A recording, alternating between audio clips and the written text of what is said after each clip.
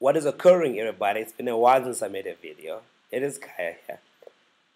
The reasons the ANC would want to defend, defend its right to sing the songs Kill the Farmer, Kill the Boer are completely understandable and completely legitimate. You know, the people who were under oppression when this song was sung or was composed. Now, this song came into being because of that. Had there been no apartheid, no brutality against the peoples of color, the song would never have had a reason to exist. It would have been completely unnecessary, as I suppose as unnecessary as knickers are on Britney Spears. The system created an unbearable anger, so it composed and, and conducted the song. It, it could also be argued that apartheid should in fact be credited with the creation of the song. so, uh, with the new dispensation, we became masters of our own, of our own fate. In 1994, when Nelson Mandela became South Africa's first democratically elected president, we became free. Now, since we claim to be free people, if we are truly free, why should we continue singing a song as if we were still oppressed?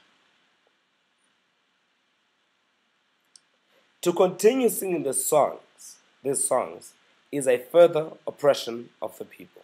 It is completely irresponsible, for it serves to tell them that they are not yet free. That's what that song says to me. In his inauguration speech in 1994, Nelson Mandela said, The time for the healing of the wounds has come. The moment to build bridges that divided, the chasm that divided us has come. The time to build bridges has come. The song does not heal and it does not build any bridges that divide us. If anything, it in fact widens them. You know, Napoleon said that um, a leader is a dealer in hope. But singing this song, Julius Malema does not act as a leader. The song points us to a system and to a time gone past.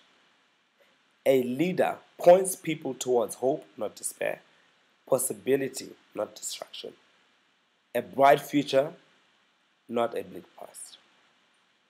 As Steve Biko put it in his book, uh, in his uh, Black Consciousness paper, we cannot be conscious of ourselves and yet remain in bondage. That song serves to tell them that they are in bondage. It says, Let us be angry at something that has already been overcome. We all know that that song did not literally mean kill the farmer, it simply meant defeat apartheid, death to apartheid. Why I was singing it now when apartheid has in fact died? It should not be banned either, but it should not be sung. Those are my views. Make some respect, everybody.